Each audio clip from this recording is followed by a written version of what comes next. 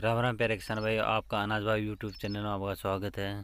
किसान भाई रोज़ाना मंडियों का ताज़ा भाव जानने के लिए हमारे चैनल को सब्सक्राइब कर लीजिए। किसान भाई सरसों की आवक में तेज़ी देखने को मिली आज।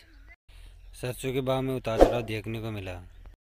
चलो जानते हैं सरसों के ताज़ा भाव क्या रहे इंदौर मंडी में सरसों का भाव पाँच हज़ार आठ सौ रुपये प्रति क्विंटल, नीमच मंडी में सरसों का भाव पाँच हज़ार दस सौ पचास रुपये प्रति क्विंटल मदसौर मंडी में सरसों का भाव पाँच हज़ार आठ सौ पचास रुपये प्रति क्विंटल छिंदवाड़ा मंडी में सरसों का भाव पाँच हज़ार नौ सौ पचास रुपये प्रति क्विंटल। गंगापुर मंडी में सरसों का भाव पाँच हज़ार छह सौ पचास रुपये प्रति क्विंटल रहा। कोटा महेश मंडी में सरसों का भाव छह हज़ार चार सौ पचास रुपये प्रति क्विंटल रहा। केकड़ी सर मंडी में सरसों का भाव पाँच हज़ार चार सौ पच्चीस रुपये प्रति क्विंटल रहा। लाखेरी मंडी में सरसों का भाव पाँच हज़ार तीन सौ पचहत्तर रुपये प्रति क्विंटल रहा नजफगढ़ मंडी में सरसों का भाव पाँच हज़ार पाँच सौ रुपये प्रति क्विंटल रहा।